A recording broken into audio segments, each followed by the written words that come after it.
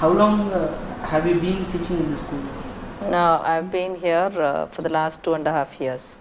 What was a problem that you faced in traditional projector solution earlier placed in your classrooms and uh, how BenQ interactive solution with PointWrite and document camera helped you?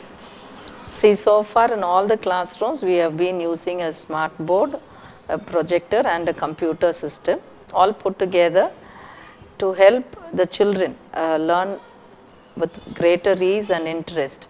Schools found it very difficult to maintain the huge boards because a classroom of a normal size would require a smart board of that size to reach all the students